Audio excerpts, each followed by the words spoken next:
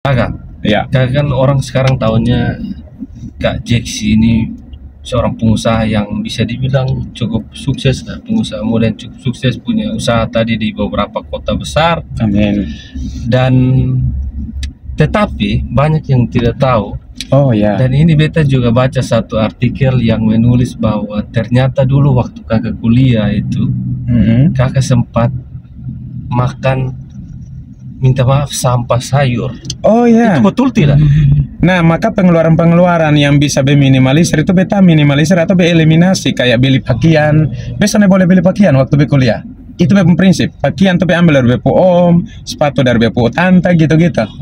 Makanan be eliminasi juga, beta bawa jagung setiap bulan dari kampung atau beras dari bepu tante kebetulan di OSL. Mhm. Sayur be makan daun pepaya cukup setiap minggu setiap Sabtu be piko ambil di kebun. Lalu sayur yang kalau beta makan daun pepaya terus kan be mulut kan pahit nanti. Mhm. Jadi mausan mau beta ambil sayur-sayur yang bisa dikonsumsi yang varian, tapi itu dari tempat sampah. Jam Ah, setiap kan kotor itu kan. kan dicuci. Oh iya, Beta di- tapi kan asal muasalnya kau tahu ini dari Nah, tempat gini. sampah.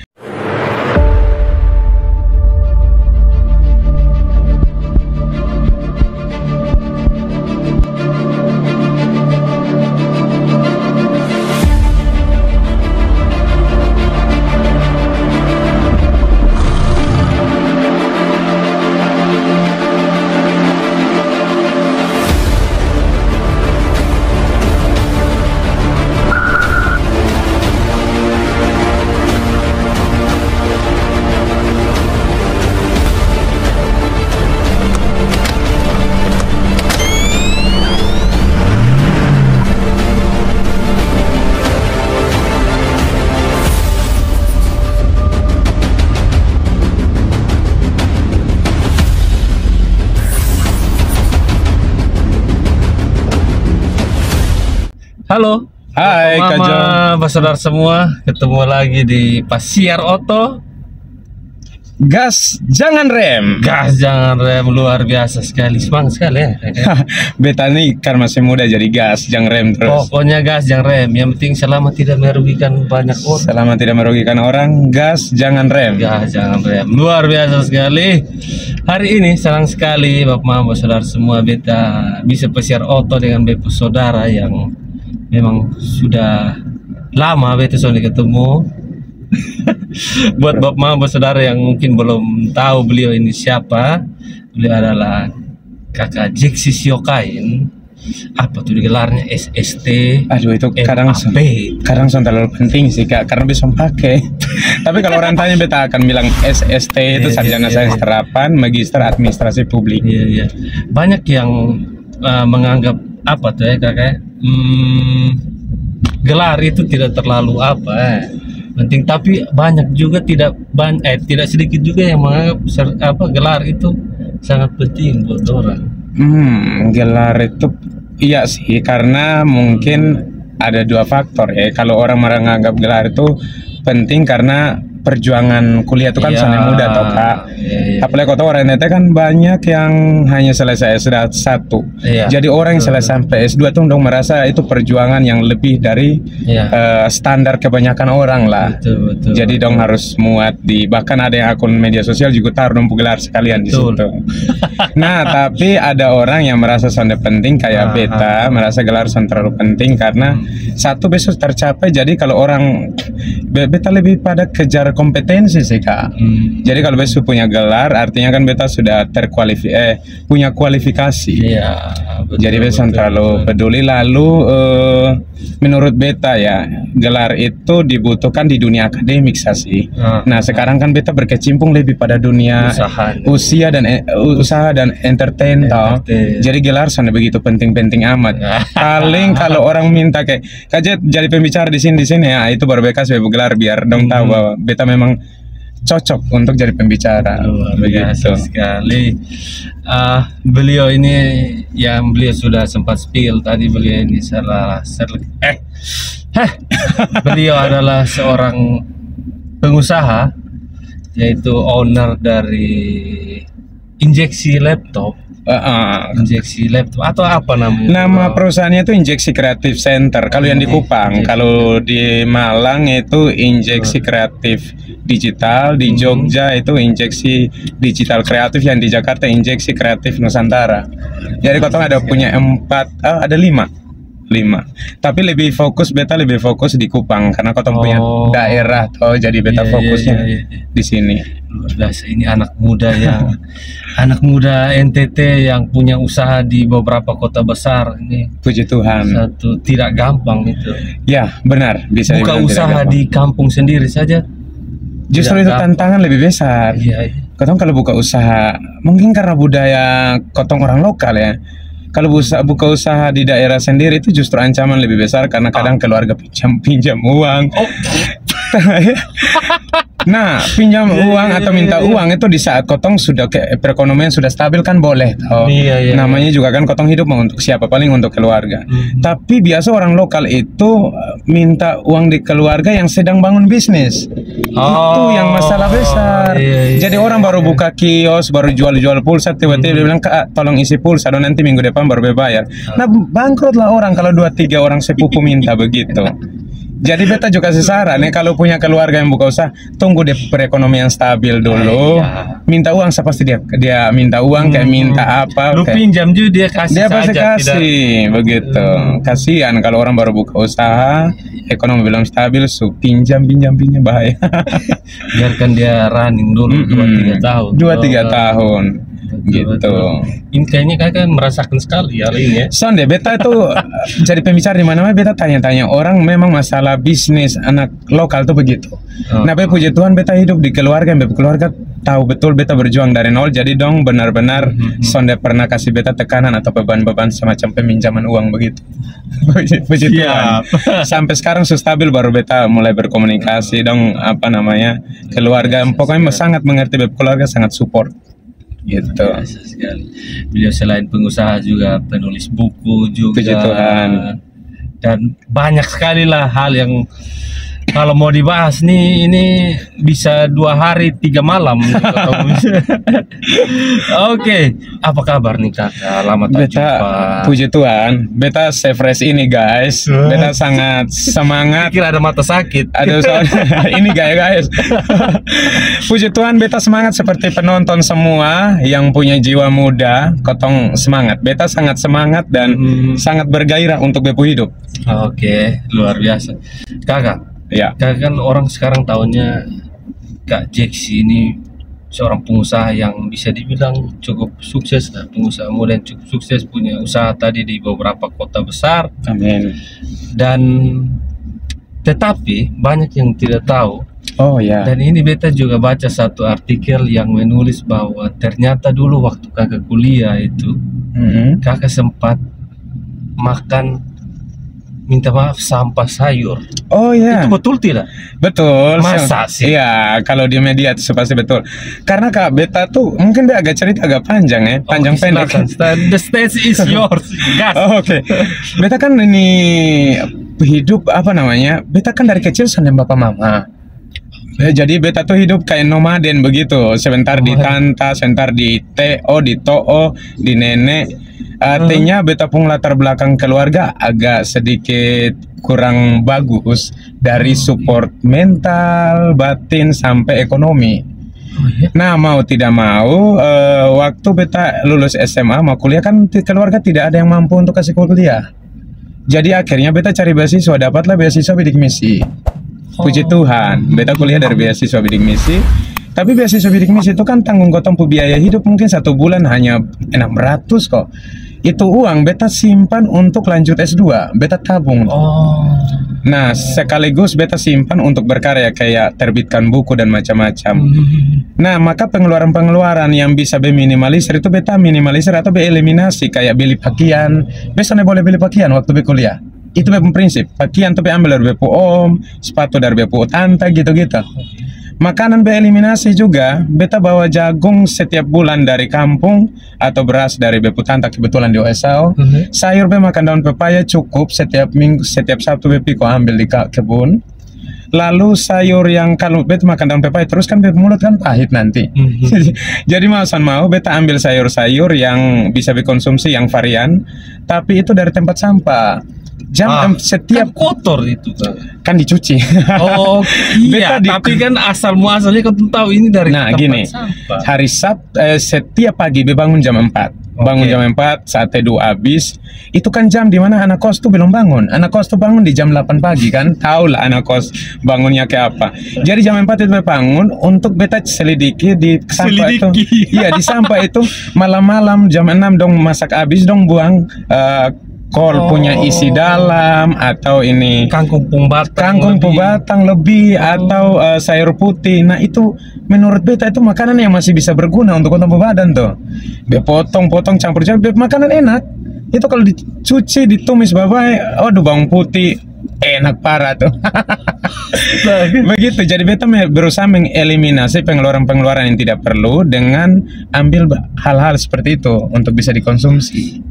Gitu. Siap, siap. Jadi itu bukannya sonde ada uang ya kakak ya, tapi lebih ke menghemat. lebih pada penghematan, lebih pada penghematan karena beta kan perencanaan jangka panjang. Beta rasa uang sepuluh ribu, dua puluh ribu kalau beta simpan terus tiap hari kan Mhm. lumayan ya satu tahun dapat berapa juta itu, gitu. Oh, oh. Luar biasa sekali. Katanya kakak juga dulu ke kampus itu naik sepeda, sa. Nah itu juga beta eliminasi pengeluaran yang kalau beta kan di belakang, beta tinggal di belakang Steam, Aha. Diaspora Danau Indah, situ gereja atau puskesmas. Teman-teman mungkin tahu puskesmas, OS apa. Itu kan jalur yang kotong mau jalan kaki di kampus jauh. Tapi kalau kotong dengan demo harus naik dua kali. Tak putar. Tak putar. Oke. Terus kalau kotong dengan ojek itu kan bayar sekitar 10.000 ribu di tahun 2014 itu. Ya mending beta beli sepeda, beli sepeda satu juta, be pakai selama empat tahun kuliah kan. Jadi beta sangat super super hemat gitu. Empat tahun kalau be bayar ojek 10.000 ribu setiap hari, wih, itu berapa juta? Mending satu juta be beli sepeda pakai setiap hari sampai wisuda. Wisuda be pakai sepeda kak? Wisuda be pakai sepeda. Sampai Kupang panas, bos. Ah, Kupang tahun 2014 sama sepanas Kupang sekarang ya mungkin. Tapi nah, Kampus keringat pasti. itu ada trik lagi. Di dalam beta punya tas itu beta ada taruh pakaian seragam kuliah dengan pakaian naik sepeda. Jadi beta naik sepeda sampai Oh, kampus. oke. Beta pun keringat itu beta masuk di toilet, beta buka beta baju, terus beta kasih basah beta badan sedikit pakai air toilet. Iya, Air toilet itu kadang air toilet itu pakai air AC. Mhm. Itu bela bepung sorry ya, Uh-huh. bela beta punya dada bepung ketiak supaya beta wangi terus kasih parfum baru beta pakai pakaian seragam, pakaian sepeda beta taruh dalam tas. Itu usaha meminimalisir pengeluaran tuh. Ketua BEM loh. Nah, be ketua BM tapi Ketua BEM Poltek loh. Tahun berapa itu? 2014, 2014. Beta bawa sepeda dari 2013 sampai 2016. Luar biasa sekali. Terus kakak pernah pulang kampung bahkan pakai sepeda. Pakai sepeda itu juga untuk meminimalisir pengeluaran. Itu, itu tidak, itu tidak sama sekali kakak. Itu siksa diri. Tapi waktu itu memang eh, selain untuk penghematan juga beta waktu itu karena ada sepeda beta rasa kayak kan orang barat itu bisa jalan antar kota Wih, pakai sepeda. hmm. Hanya ternyata Di setelah barat rata kakak. rata benar. Setelah beta search ternyata dong sepeda tuh yang harga 9 juta kakak. Beta sepeda harga 1 juta. Aduh, ternyata beta dan capek minta ampun beta sakit naik, dong. itu setelah jembatan Noel Mina naik. Nah, ada dia putrik. Jadi teman-teman yang mau naik, oke. ada yang mau naik sepeda jarak jauh, ada dia putrik. Kalau seorang sulinca naik sepeda, kan dia bawa sepeda pakai satu tangan, mau jarak puluhan kilo juga bisa. Tangan Mhm. kirinya dia pegang setir sepeda, tangan kanannya dia pegang auto track. Kalau mendaki, jadi mendaki itu kan orang over gigi. Itu pas orang over gigi betul tunggu memang pakai pegang tangan kanan ini pegang setir. Tapi kalau surat rata ya beda yang. Jadi orang bilang "Be, hebat jalan ratusan kilogram dengan sepeda sebenarnya itu trik. Padahal oh nebeng di oto-oto. Ah, juga. beta pegang dia punya bag, jadi dia yang tarik beta. Oke. Gitu. Siap, siap, siap. kakak, kau kembali lagi ya, kakak. Oke. Tadi kan kakak bilang waktu kecil tuh, waktu sekolah tuh tinggalnya nomaden kakak Yes. istilahnya kakak. Pindah-pindah dari mana ke mana. Terus sekolahnya siapa yang biaya? Nah, dulu kotong eh, sekolah, ya siapa yang mampu asuh beta dia yang tanggung. Jadi dalam bepu hidup nih, Maksudnya siapa yang mampu asuh? ah, dia yang tanggung. Kakak tinggal di situ sudah. Iya, beta tinggal beta diadopsi terus beta tinggal. Tapi yang adopsi beta kan bepu TO. yang adopsi beta beta punya tan beta punya toong Hmm. jadi dong siapa yang adopsi ya dong yang tanggung tapi sebagai balas jasa ya beta kan kerja dalam Kerja rumah dalam rumah, ya oke, cuci iya, pakaian iya, iya, pel iya. cuci piring Iya, ke iya. sawah atau ke kebun Mhm. gitu gitu gitulah luar biasa sekali. Tapi, wih, kakak, kakak hemat seberapa banyak pun ya kakak. Kan kita Mm-mm. tahu sendiri itu biaya S2 sonde sana murah ya ya ya ya Lah, terus ceritanya ke mana sampai kakak bisa selesaikan Eh. sekolah di di Malang lagi. benar satu tunggu beta mungkin cerita pelan pelan Oke, silakan. Kotong kalau melanjutkan studi mau di Malang atau di Kapan sama tuh. Hmm, Jadi lo ya S2 di Jepang biayanya mungkin 10 atau 15 juta kan sama di Malang juga biaya yang sama. Kalau lu kos di sini harga 500 ribu di Malang juga sama 500 ribu. Jadi apa Oh, bedanya? iya, jadi- Tidak tidak ada yang dahsyat dengan kotong kuliah di luar daerah itu tidak ada yang dahsyat. karena di sini di Kupang pun kakak harus kos. Ah, harus kos. Oke. Bahkan biaya hidup di Kupang lebih tinggi. Beta kasih tahu kalau teman-teman itu betul. teman-teman yang nonton ya. Mhm. Biaya hidup di Kupang itu jauh lebih tinggi daripada biaya hidup di Jogja atau di Malang. Malang Kalau Indo- sekali. Jawa bagian barat itu lumayan mahal, Iya. tapi Jawa bagian timur tuh relatif murah. Hmm. Nah, terus beta trik dong, beta tuh pengen cari kampus yang kualitasnya bagus tapi biayanya murah. Lagi-lagi tentang hemat nih. Hmm. Jadi beta dapatlah kampus namanya Universitas Merdeka Malang. Mungkin teman-teman pernah lihat. semua sih, hampir semua. 50% oh, anak de, anak NTT. Iya, betul. Ada dia sejarah kenapa di situ anak NTT. Tapi Oh ya. Beta akhirnya cek S2 eh, pasca sarjana yang dia punya akreditasi A+, tapi biayanya murah. Jadi beta dapat waktu itu dengan eh, masuk pertama bayar 10 juta, tapi dia akreditasi itu A+. Jadi artinya kan kualitasnya oke, tapi biayanya murah. Nah, cara bayarnya ke mana? Beta akhirnya eh, punya satu laptop dan satu printer. Mhm. Beta bukalah print-print di kos. Di dalam beta punya kamar kos. Kos di sana pun itu sama kayak di Kupang waktu beta kuliah S1. Kosnya itu beta pinjam kos yang awalnya itu gudang. Beta minta tuan kos orang Jawa dia sama orang Timur tapi entah tuan bergerak bagaimana beta orang Timur tapi dia minta dia Iya. punya gudang dia bilang ini permisi beta minta ini gudang untuk beta tinggal supaya biayanya murah biayanya 200 ribu sudah dapat satu, Satu bulan. Nah, beta taruh beta printer, beta punya laptop untuk beta print anak-anak anak-anak mahasiswa dan pun tapi beta antar. Jadi sistem Hmm. COD itu bisa terapkan sejak 2019. Tapi itu print di Kupang tuh sana ada seperti itu. Di Jawa juga Jadi ada. orang bisa kirim file saja. kirim file, beta antar. diantar. Oh, Itulah juga. benar, itu cikal bakal beta punya bisnis dulu. Oke. sampai sekarang dari situ be bisa uh, bayar regis be bisa beli motor bisa bangun perusahaan sampai sekarang tuh dari si dari situ bisnis Tapi kecil print-printan kan soalnya seberapa? Kak? soalnya seberapa tapi gini ini mungkin teman untuk teman-teman yang bangun bisnis di dunia print ya kotong tuh sana hanya berharap pada kertas itu tapi kualitas lebih yang kotong kasih kayak orang datang dong punya makalah kotong bantu untuk bikinkan Oh, jadi kotong iya. bisa jadi konsultan Tugasnya ketong buat. Iya, kotong buat, tapi kotong bukan Oh. joki, bukan joki. Orang datang kayak kan ada pejabat-pejabat yang kuliah. Itu kan Hmm. dong mau urus dong pejabatan atau urus kuliah. Dong kan Hmm. sibuk sekali. Jadi dong bilang, "Mas, ini tolong bikinkan beta punya makalah, beta bayar 20 ribu deh. Tapi beta pengen judul ini, dia punya kerangka berpikir ini, tinggal dikembangkan." Ya sudah beta sikat 20 ribu, 50 ribu. Kalau 10 orang kan 500.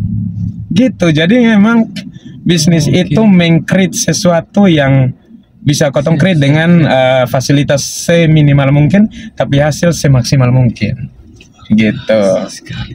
Ini otak bisnisnya dari mana sih?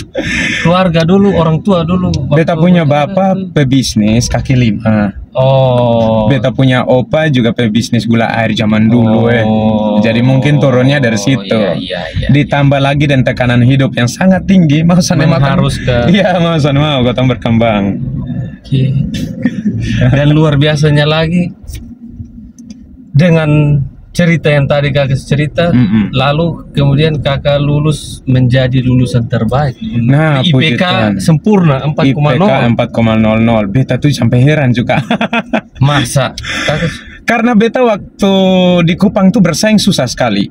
Bersaing susah sekali karena beta mungkin ke Tobem banyak kegiatan juga, kegiatan nasional. Oh, oke. Jadi beta bersaing beta teman namanya Junita Baluk sekarang lagi di Bank BI. Aduh Oh. susah. Terakhir dia yang eh, jadi lulusan terbaik Politeknik Negeri Oh. Kupang. Dia bilang be balas dendam dong. Beta mau jadi lulusan terbaik tapi jangan di NTT, be lulusan terbaik di Malang. luar. Jadi beta waktu masuk saya itu be harus taruh standar tinggi, be harus nilai terbaik terus. Tugas be harus Iya. kerja be selesai lebih dulu. Mhm. Terus kualitas beta pemakalah, be paper dong harus lebih baik. Gitu-gitu supaya be bisa lulus dengan IPK 4,00. Tapi kadang IPK 4,00 ini tidak hanya harus pintar kakak, harus pintar-pintar. Yes, setuju.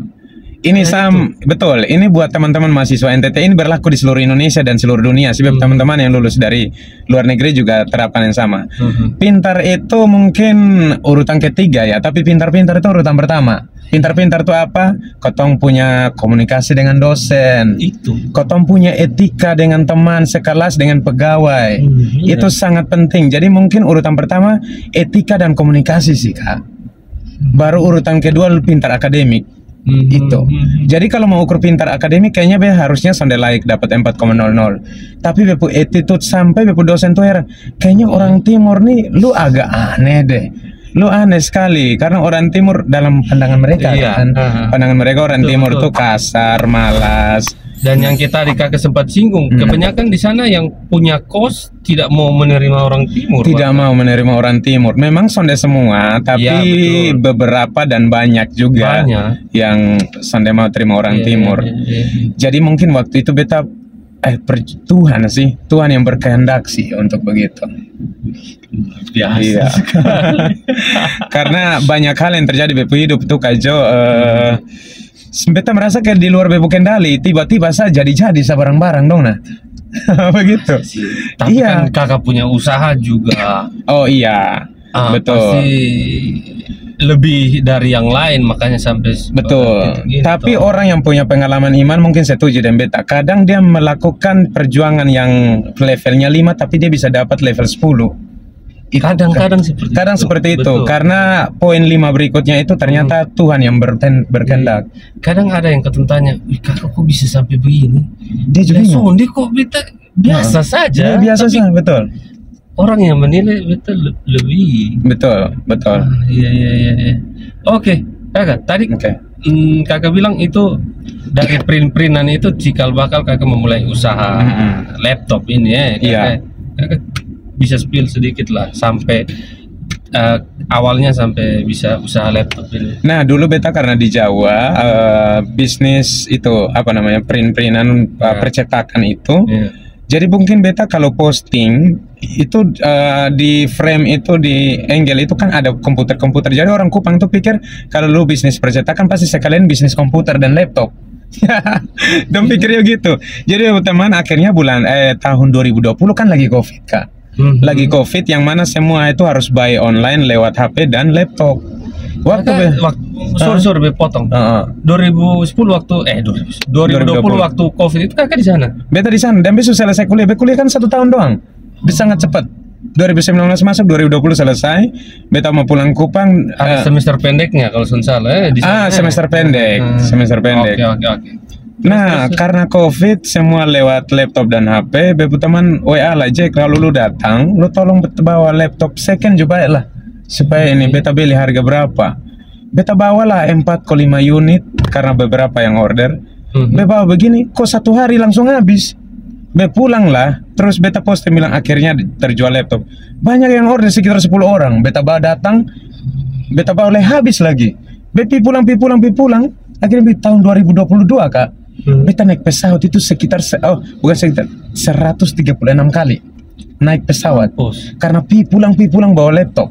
10 unit, 10 unit, 10 unit. Kenapa kakak yang harus pikul piratangin barang Kak. sonde kirim sa? bisnis awal itu memang harus capek karena kalau kirim beta kan waktu itu belum punya teknisi Oh, jadi laptop itu oke. kalau kirim rawan kak laptop second Iya, iya, dikirim iya, sebentar iya, sampai iya. sini LCD pecah harus pengeluaran lah Iya iya iya. baterai rusak keyboard lepas dan itu alami ulang-ulang maka oh. pil pulang pi pulang Oh. kadang tuh terbang tuh hanya dapat keuntungan tuh hanya untuk tiket pesawat kak tapi kan eh, Hmm. experience-nya itu loh kak pengalaman pengalaman naik pesawat berulang-ulang kali itu itu kan anak NTT jarang ya naik pesawat satu tahun 126 kali Wih, itu siapa dulu tuh baru bisa begitu tuh kakak. iya Ini ada apa lagi?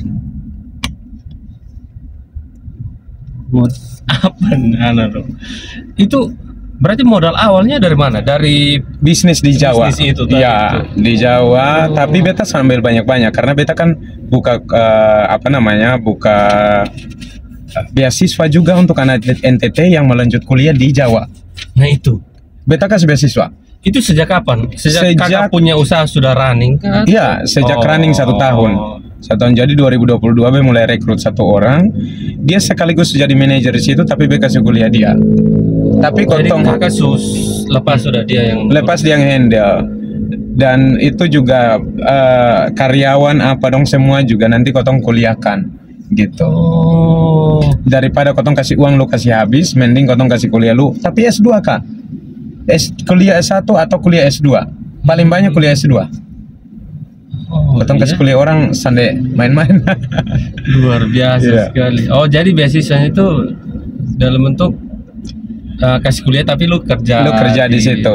Oh. Eh, tujuannya apa Kak Jo? Eh, mungkin orang bilang ya namanya juga lu kasih kerja orang ya lu pasti kasih kuliah. Iya, Sonde, betul, betul. eh, kasih kuliah habis eh, dia datang balik NTT dia wajib buka bisnis. Buka bisnis itu kotong yang modalkan Kak. Hmm? Ya, jadi sekarang sudah ada satu yang berjalan itu kotong modalkan sampai dia punya gedung, dia punya fasilitas sarana prasarana sampai dia running bisnis. Jadi kotong ikuti sampai ini siswa yang emang siswa yang kotong kasih beasiswa ini sampai dia punya bisnis sendiri dia running sejalan baru kotong lepas. Jadi kotong sampai menentukan orang masa depan. Tujuannya Oh, apa gitu. kak kemudian? Eh, kalau beta kasih kuliah orang di luar, artinya artinya dia wawasan berbeda dengan eh, mindset anak-anak daerah. Lalu kalau dia selesai kuliah S2 kan dia siap pakai. Mhm. Dan kalau dia sudah buka dunia kerja di sini, artinya kotong punya dampak tuh bukan hanya ke satu orang itu, tapi dia buka lapangan kerja yang Bagi dampaknya yang ke banyak lain. orang. Jadi beta tuh merasa kehidupan tuh akan sangat bermanfaat dan beta akan mati dan bahagia kalau beta tuh seperti MLM, Oh. bercabang, manfaatnya bercabang. Mhm. Gitu, itu tujuannya. Biasa. Sampai kakak caleg kan? nah itu. Kadang orang bilang cari beta benci dengan dunia politik sih Ah. terutama legislatif. Beta suka. karena kotong son bisa action nyata begini kak. Tapi kalau di dunia bisnis ini kan kotong bisa sentuh langsung beta pengen lu kuliah. Kan langsung kuliah. Kalau di politik kak masih ada embel-embel tekanan politik macam-macam. Mungkin kalau aduh suatu waktu tapi sekarang belum sekarang bisa berpikir sama sekali Oke. Tapi kan yang buat hal itu hal yang tidak gampang kakak dan tidak semua orang yang berduit sekal- sekalipun iya itu betul dia malaikat ada turun sekali mungkin baru dia berpikir ke situ. Eh, beta mungkin agak idealis kayak kalau beta ngomong begini, tapi beta tuh ngerasa kalau beta mati kan uang sudah dibawa kan kayak. Lagian eh beta juga rasa kalau beta punya anak beta akan ajar dia punya bisnis sendiri. Jadi mungkin beta uang juga akan habis dengan sendirinya tanpa dia harus bawa. Jadi kalau beta bermanfaat kan nama tuh kan lebih wangi berabad-abad toh kak. Lebih wangi berabad-abad dibandingkan kau punya harta gitu Iya sih, jadi beta lebih memilih investasi manusia daripada investasi uang Jarang-jarang orang anak muda seperti ini nih. tapi biasa. mungkin juga Jo ada banyak orang yang lakukan yang sama tapi belum publis ah sama beta juga baru muncul begini beta kasih tahu orang Oh, oke. kan selama ini juga sudah sampai pernah publis Mhm. kayaknya beta rasa ada banyak sih yang melakukan hal yang sama kau doakan sa Ya, semoga. amin amin Memang di ini dunia sudah banyak orang baik, iya betul tapi kita masih butuh lebih banyak lagi. Oh ya, betul lebih banyak. Semoga teman-teman lanjut punya misi yang sama ya untuk amin, NTT. amin, amin, amin, amin. Oke kakak, Oke. ini rencana ke depan. Apa yang kakak mau buat ke depan? Eh, Injeksi Creative Center itu eh, sebenarnya Kotong tuh pengen eh, perusahaan yang memban eh, perusahaan yang misi sosial tapi berkedok bisnis sebenarnya. Oke. Jadi Kotong punya penghasilan dari bisnis itu, Kotong pengen untuk ke depan kasih kuliah anak-anak daerah sebanyak mungkin untuk jenjang S1 maupun S2. Sekarang ini Kotong sudah bikin eh, pelatihan-pelatihan kompetensi yang dibutuhkan di dunia kerja, kayak public public speaking, bahasa Inggris, kursus komputer dan banyak lainnya. Nah, ke depan tuh itu Kotong mau tingkatkan dan beta lebih fokus pada pengembangan SDM NTT sih Kak. Jadi anak-anak NTT itu beta pikir satu waktu beta bisa rekrut sebanyak mungkin orang untuk punya kompetensi lebih dan bisa bersaing di skala nasional setidak tidaknya. Itu Luar beta biasa. misi. Kakak, Mhm. ini sorry ya. Toko-toko besar yang sudah lama, Oke. kadang karyawannya Sony sama kayak kakak karyawan begitu banyak. Oh, Bepung banyak, Bepung terlalu banyak ya? Sebenarnya Bepung sedikit. Yang Wih. kakak lihat banyak-banyak itu anak magang. Oh. Nah, penerapan anak magang ini ini juga berbeda kalau diinjeksi. Nah, ini Hmm. mungkin guru-guru yang nonton boleh titip anak magang di Kotong. Hmm. Kotong tuh memperlakukan anak magang itu sebagai seperti tenaga kerja yang real. Jadi Hmm. mereka itu bukan ditempatkan pada mahasiswa-siswa yang tinggal disuruh-suruh. Mhm. Kan biasa kesan anak magang itu kan pergi magang untuk disuruh-suruh, Iya, iya, iya, angkat iya. sampah, beli galon. Mhm. Kotong tuh kasih ilmu. Jadi Kotong tuh terima anak magang setidaknya tiga bulan dia magang. Bulan Oke. pertama itu untuk Kotong ajar dia full. Bulan kedua, bulan ketiga itu dia bisa bermanfaat buat pelanggan dan buat banyak orang. Minimal dia bisa siap deplep sendiri mungkin. Nah, aduh itu terlalu sepele kak. Kalau Oh, diinjeksi iya. itu, eh, kalau mau sombongnya dong tutup mata juga bisa kerja. Oh iya. Nah selain itu juga Kotong tanamkan misi kayak eh, apa? Eh, dong hidup harus bermanfaat buat orang karena kan kayak pelatihan-pelatihan di lantai dua, lantai tiga tuh itu mereka yang handle juga. Jadi mereka bisa handle event, bisa handle apa problem solving, penjualan dan macam-macam. Jadi dong keluar tuh dong kayak siap kerja memang gitu. Dan Kotong juga ada reward. Nah betul sebut angka tapi Mhm. dong ada reward lah. Gitu. Luar biasa sekali ini. Oke. Kak Jeksi, terima kasih banyak. Good. Makasih Sudah Kak Jo. mau diajak pesiar oto sukses terus kakak. Amin, amin. Luar biasa. Eh, Bapak Mama, bersaudara semua, sekian kota punya pesiar oto ini hari. Eh, semoga banyak hal- hal-hal baik yang bisa diambil, yang baik diambil, yang kurang baik dijadikan pelajaran untuk tidak apa ya, kakak ya, tidak mengalami seperti yang itu lagi. toh, Oh, yes. Oke kakak, mohon maaf kakak kalau ada salah kata atau Thank yang you. kurang-kurang Bagus. pesiar oto ini kosong-kosong saja. Oke, Bapak Mama, bersaudara semua, sekian ketopnya pesiar oto kali ini. Sampai ketemu di video berikutnya. Bye. Gas jangan rem.